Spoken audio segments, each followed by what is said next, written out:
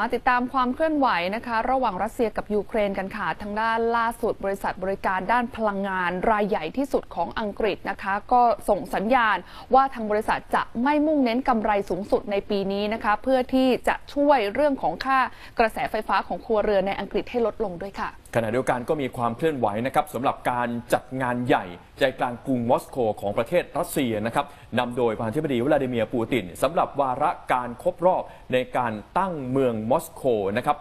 875 ปี ก็มีการเฉลิมฉลอง แล้วก็มีการจุดพลุอย่างยิ่งใหญ่ครับ ไปดูบรรยากาศกันเลยนะคะสำหรับการจุดพลุกันที่ลานจัตุรัสแดงอันมีชื่อเสียงของกรุงมอสโก เพื่อเฉลิมฉลองครบรอบ 875 ปี ของการก่อตั้งเมืองหลวง ขณะที่ประธานาธิบดีวลาดิเมียร์ปูตินได้กล่าวในงานกาล่าคอนเสิร์ต เพื่อฉลองการก่อตั้งกรุงมอสโกว่ากรุงมอสโกเป็นหนึ่งในมหานครที่สวยงามและสะดวกสบายที่สุดในโลก ซึ่งปูตินยังกล่าวด้วยนะคะว่ารัสเซียกำลังทำงานที่ยิ่งใหญ่ เพื่อฟื้นฟูเมืองหลวงของสาธารณรัฐประชาชนโดเนสและลูฮันทางตะวันออกของยูเครน ซึ่งได้รับการยอมรับจากรัสเซียและ ประเทศเพียงไม่กี่ชาติให้เป็นรัฐอิสระ ซึ่งปูตินกล่าวต่อไปนะคะว่ากำลังซ่อมแซมบ้านเรือนถนนหนทาง โรงเรียนที่รับความเสียหาย และทำทุกสิ่งทุกอย่างเพื่อเตรียมความพร้อมก่อนฤดูหนาว โดยปูตินนะคะได้ร่วมเฉลิมฉลองครบรอบ 875 ปี ของการก่อตั้งกรุงมอสโกท่ามกลางสถานการณ์นะคะที่ถูกทหารยูเครน ตีโต้กลับในหลายเมือง ทางฝั่งตะวันออกของยูเครน แต่ว่ากระทรวงกลาโหมของรัสเซียก็ได้สั่งการให้ทหารรวมกำลังพล เพื่อที่ที่จะทำให้ปฏิบัติการทางทหารปลดปล่อยดอนบาสทางตะวันออกของยูเครนบรรลุเป้าหมาย โดยสถานการณ์ที่เกิดขึ้นเรียกได้ว่าเป็นการถอยหลังครั้งใหญ่ส่วนทางด้านของประธานาธิบดีเซเลนสกี้ของยูเครน ก็เชื่อว่าฤดูหนาวจะเป็นจุดที่มีการเปลี่ยนแปลงในสงครามของรัสเซีย ขณะเดียวกันก็เรียกร้องขอการสนับสนุนทางทหารเพิ่มเติมจากชาติพันธมิตร และหากยูเครนได้อาวุธที่ดีจะทำให้แข็งแกร่งขึ้น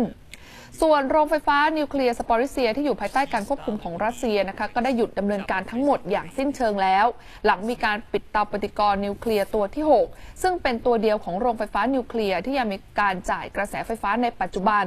ทั้งนี้ก็เพื่อความปลอดภัยนะคะ เนื่องจากความกังวลเรื่องของการรั่วไหลของกัมมันตรังสี ทางด้านของสหภาพยุโรปก็เรียกร้องให้สมาชิกนะคะ เร่งสำรองพลังงาน รับฤดูหนาวที่ใกล้เข้ามาถึง โดยเป็นความรับผิดชอบร่วมกันของทุกประเทศที่จะต้องทำทุกอย่างที่สามารถทำได้เพื่อการผลิตพลังงาน